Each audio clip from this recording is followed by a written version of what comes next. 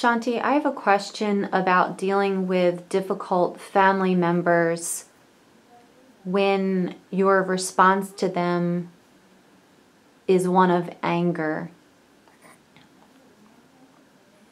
Yes, okay. So, we are working on ourselves. That's the fundamental thing. Everyone come in our life as husband, wife, children, friends, employee, employer. They are only for us to work on ourselves. If situation is very smooth, we don't learn the spiritual lesson. So when trying situation comes, awakens us. So in general, everyone remembers God in the time of hardships. Hardly anyone remembers God when there is happiness and good things.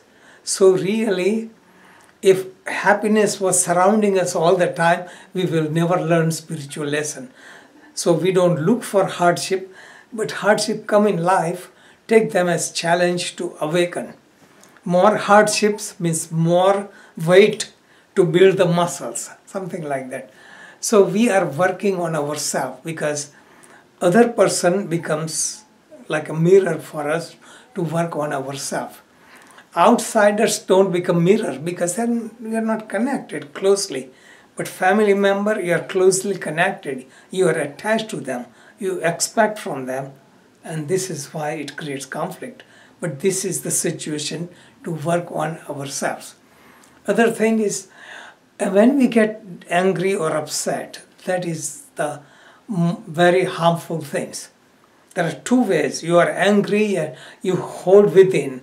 That is very dangerous because it could result into many physiological and psychological problems.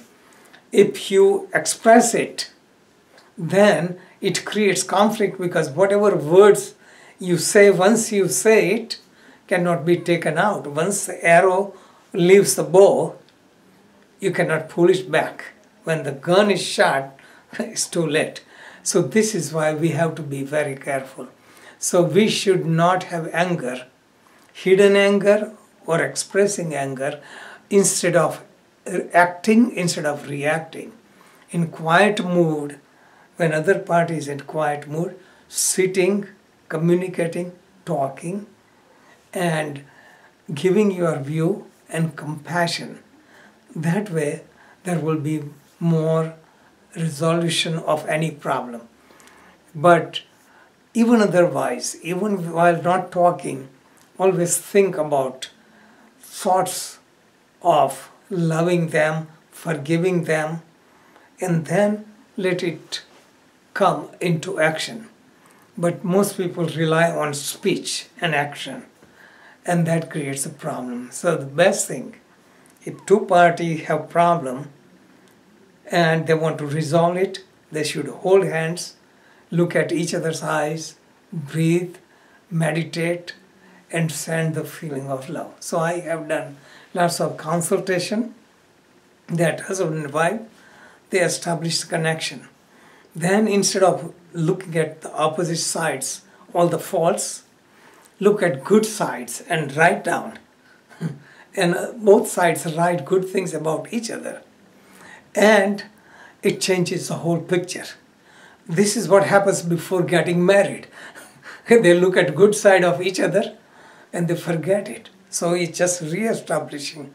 Like a, look at each situation like a fresh situation, like you are, this is the first day of your marriage look at the person like as if you are looking at them at first time look at the plant in the room like you are looking at the first time so this is uh, looking with freshness so we don't hang on to he did she did or any kind of past memories this is where most people get caught nations get caught and even being visionary applies to at national level they are impulsive.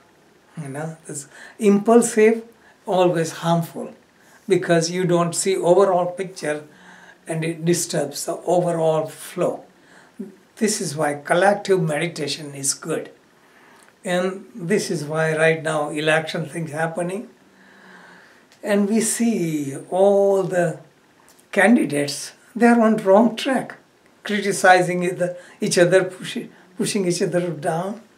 And greed, it's just so much greed. Just all politicians, they have no compassion, no love. And politicians are nothing but reflection of society overall.